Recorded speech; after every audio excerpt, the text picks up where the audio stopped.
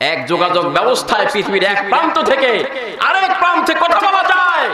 আর ঘরের মধ্যে একই বাড়িতে সন্তানও থাকে, পিতাও থাকে।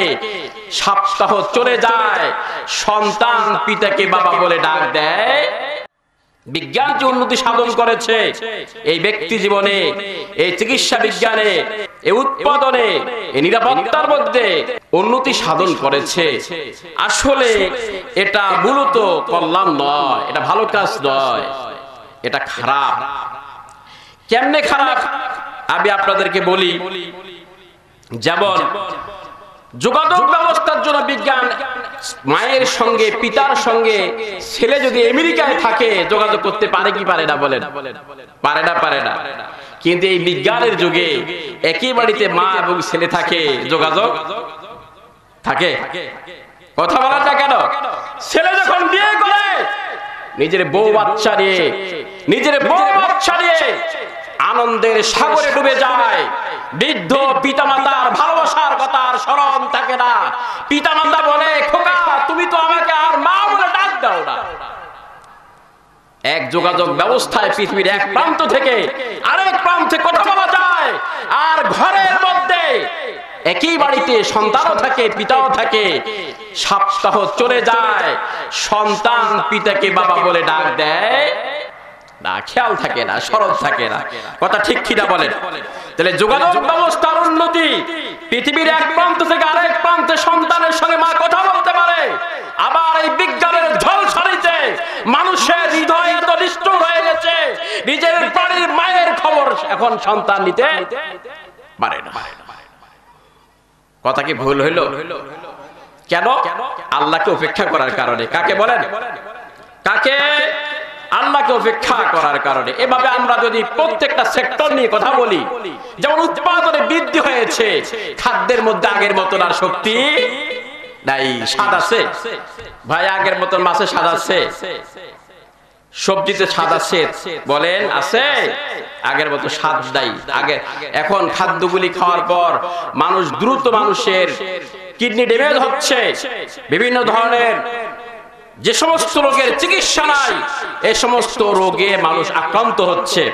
এরপরে নিরাপত্তা। নিরাপত্তা। উন্নতি সাধন হয়েছে। কিন্তু শুধুমাত্র আল্লাহকে উপেক্ষা করার কারণে সেই নিরাপত্তা মানুষকে মানুষের কল্যাণ করতে পারে। মানুষের অভাব দূর হয়েছে। অভাবে স্বভাব নষ্ট। আপনারা বলেন তো, এমন কয়জন ধনী মানুষ আছে যার গরিব আত্মীয় স্বজন তার নিকট গেলে সে খুশি হয় যে, তুমি গরিব মানুষ আসছো, তোমাকে একটা আমি সহায়তা করব। এরকম ধনী আছে? কথা বলেন না কেন? কথা বলেন না কেন? আছে? যোগাযোগ উন্নতি সাধন করেছে বিজ্ঞান। অট্টলিকা তৈরি করতেছে মানুষ। গ্রাম থেকে শহর মানুষের পদচলন চলছে। নিজের বোন, নিজের ভাই, নিজের আত্মীয় স্বজন গরিব স্বজনগুলি যখন তাদের দুয়ারে যায়, মনে হয় যে এদের মতন গরিব আর জগতে কথা ঠিক কিনা বলে? এইভাবে যদি বিভিন্ন স্তরকে পর্যালোচনা করা যায়, উন্নতি সাধিত হয়েছে মানুষের। কিন্তু মানুষ মানসিক দিক থেকে গরিব না নাই বলেন, বড় বড় ব্যবসায়ী মানুষকে ঠগাই কিনা বলে কেমন নিষ্ঠুরের মতো আচরণ করে, মনে হয় যে এদের মধ্যে কোনো হৃদয় নাই, ভালোবাসা নাই, মায়া নাই। কথা ঠিক কিনা বলেন? এদের দিকে তাকাইলে মনে হয়, এরা কি বনে বসবাস করে না পরিবারে বসবাস করে, বুঝাই যায় না। কথা ঠিক কিনা বলেন? আপনাদের কি খারাপ লাগতেছে? খারাপ লাগতেছে আপনাদের? বিজ্ঞানের মহাগ্রন্থ হচ্ছে কোরআন। কোরআন কি বলেন? বিজ্ঞানের মহাগ্রন্থ। এখানে আমি অন্যদের মতো। এভাবে আপনাদেরকে কথা বলে মুখে কথা বলে ওই যে হকারের মতন আপনাদের বিদায় করে দেব না। আমি কোরআনের মজেজা, শ্রেষ্ঠত্ব আমি আপনাদের দেখাবো। এবং কোরআনের থেকে আপনাদেরকে আমি উপকৃত করে মাঠ থেকে বিদায় দেব যদি আপনারা বসে থাকেন। আপনারা এই কোরআনের আলোচনা শেষ পর্যন্ত শোনেন। আপনারা রাজি আছেন বলেন? কোরআন যে বিজ্ঞান, এর যে শ্রেষ্ঠত্ব আছে, এর যে মর্যাদা আছে, এর যে এটা আমি আপনাদেরকে দেখাবো এবং এর শ্রেষ্ঠত্ব অলৌকিকত্ব এর মর্যাদার উপকারিতা দিয়ে দিয়ে আমি এই মাঠ থেকে আপনাদেরকে আমি এখান থেকে বিদায় দেব। ইনশাআল্লাহ। বিজ্ঞানের মহাগ্রন্থ আর নবী মোহাম্মদ সাল্লাম হচ্ছেন মহাবিজ্ঞানী। নবী কি বলে? আমাদের নবী কি? আমাদের নবী সাধারণ কোন মানুষ নয়, তিনি হচ্ছেন মহাবিজ্ঞানী, তিনি কি? নবীর দেখানো পথ, কোরআনের দেখানো পথ, নবীর দিক নির্দেশনা, এই কোরআনের নির্দেশনা, এখানে ব্যক্তি জীবনের সমৃদ্ধির কথা আছে। কিসের কথা বলে? কিসের কথা? সমৃদ্ধির কথা বৈদ্য বৈভবের কথা, সম্পদের কথা, অর্থের কথা এই ব্যক্তি জীবনে কোরআনের মধ্যে আসলে বলেন, এটা বিজ্ঞান। এটা আপনাদেরকে হাও করার জন্য নয়। আপনাদেরকে ছোট করার জন্য কোরআন নাজিল করেন এই আল্লাহ তাআলা।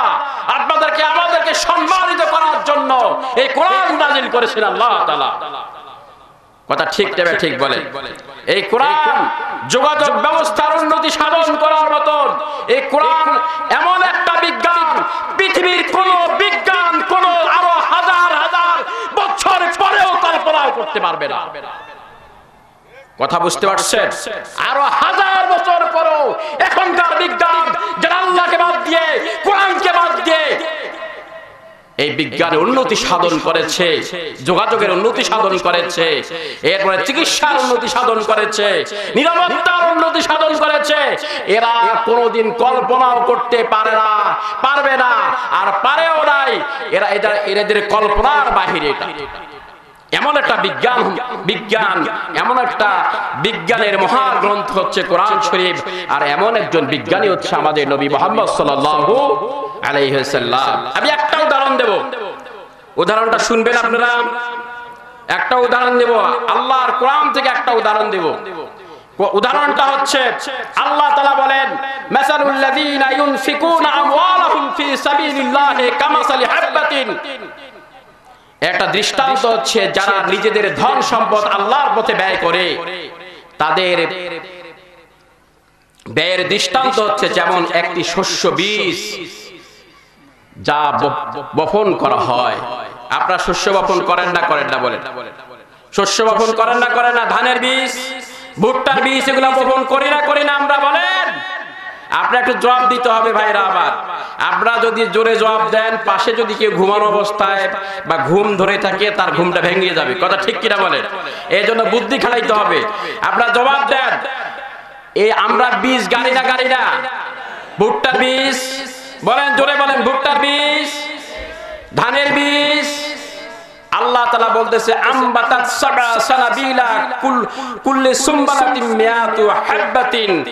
এবং তা থেকে সাতটা শীষ উৎপন্ন হয়, যার প্রত্যেকটি শীষে থাকে একশতটি করে একশতটি করে দানা। এখানে আল্লাহ তালা একটা উদাহরণ দিলেন, যে আমরা যে বীজ বপন করি তার উদাহরণ দিলেন। এই উদাহরণটা এই কোরআনটা নাজিল হয়েছে চোদ্দশো প্রায় কিছু কম বেশ পনেরো শত বছর আগে। পনেরো শত বছর আগে কি জমিনে এক বিঘা জমিনে আঠাশ মন ধান হয়েছিল, ত্রিশ মন? বলেন, হয়েছিল। পনেরোশো বছর আগে, বিশ বছর আগে কালীগঞ্জে এক বিঘা জমিতে ধান কতগুলা হয়েছিল, বলেন? কতগুলা হয়েছিল, বলেন? পঞ্চাশ বছর আগে কতগুলা হয়েছিল? ধানে, এই সমস্ত জমিতে কি হয় নাই? আবাদ হয় নাই, ফসল উৎপন্ন হয় নাই। সেই জমিতে এখন ফসল উৎপন্ন হয়। প্রায় কতগুলি? বিশ, বাইশ, তিরিশ পন ফসল জমিন থেকে আল্লাহ তালা উৎপাদন করেন না করেন না, বিঘায় করেন। এই সূত্রটা, এই জ্ঞানটা মানুষের মাথায় দিয়েছেন কে? সেই কথাটাই আল্লাহ বলেছেন, ওয়ালা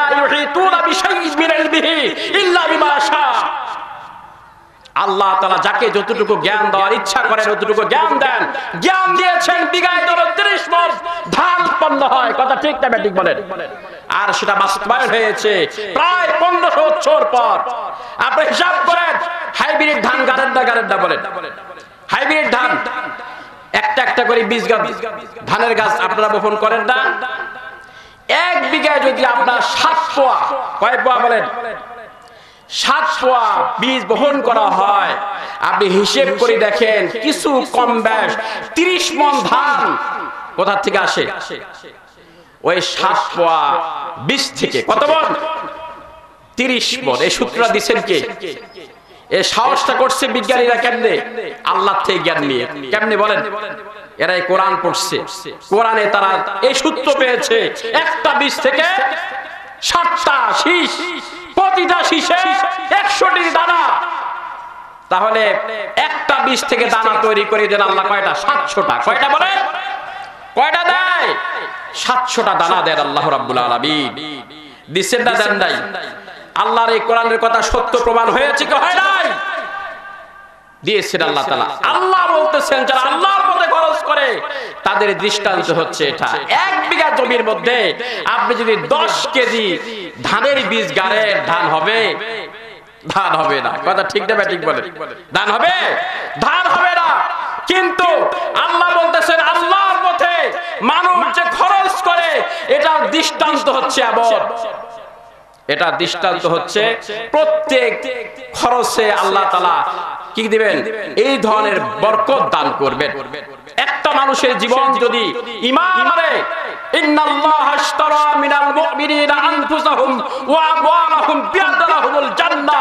যদি মানুষের জীবন আল্লাহর জন্য বিক্রি হয়ে যায়, জান্নাতের বিনিময় এই জীবনটা যদি সজ্জায় পরিণত হয়ে যায়, এই জীবনে যত টাকার ফসল আল্লাহর পথে ব্যয় করা হবে, সেখানে বরকত দিবেন না দিবেন আল্লাহ বলে। শুধু আখেরাতে দিবেন না দুনিয়ার দিবেন। দুনিয়াও দিবেন, আখেরাতেও দিবেন। বলেন, দুনিয়াও দিবেন। আখেরাতেও দিবেন সেই জ্ঞান কোথায় আছে? কোরআনে আছে। সেই জ্ঞান কোথায় আছে? একজন মানুষ যদি একটা বিষ থেকে দ্বারা উৎপন্ন হওয়া করতে পারে, আর এইভাবে যদি সারা জীবন এই অসংখ্য দানার মালিক হয়, এই দানাগুলিকে যদি আল্লাহর পথে খরচ করা হয়, তাহলে এই মানুষের জীবনের সমস্ত এই উৎপাদিত দানাগুলি আবার কত গুণ বৃদ্ধি হতে পারে, তা কল্পনা করা যায়? তার মানুষের এই শস্য বীজ মানুষের শক্তি, সামর্থ্য, জ্ঞান, বুদ্ধি, নিরাপত্তার জন্য আবিষ্কার, চিকিৎসা, এই সব কিছুর মধ্যে প্রায় উনপঞ্চাশ তার মানে চার হাজার নয়শো। মানে এই ধরনের কিছু কম বেশ, গুণ বেশি আল্লাহ তালা বৃদ্ধি আমাদের। এই জ্ঞানটা কার কাছে দুনিয়াতে দিবে না দিবে না। দুনিয়াও দিবেন, আখেরাতেও দিবে সেই বিজ্ঞানের গ্রন্থ হচ্ছে কোরআনুল কারীম। বলেন সেই বিজ্ঞানের গ্রন্থ। আর সেই কোরআনের মাহফিলে আমরা এসেছি। সাধারণ বিষয়। বিষয়টা কি সাধারণ? এর জন্য আল্লাহ রাসূল হাদিসে বলেছেন, ইন্না হাযাল ইলমু দ্বীন কোরআন এবং হাদিসের এলেম হচ্ছে দিন মানে কল্যাণ। সেখানে আমাদের সমৃদ্ধি, আমাদের বৈত্য বৈভব আমাদের সুখ শান্তি, আমাদের সম্মান, আমাদের মর্যাদা, আমাদের মঙ্গল। কথা ঠিক কিনা ঠিক বলে?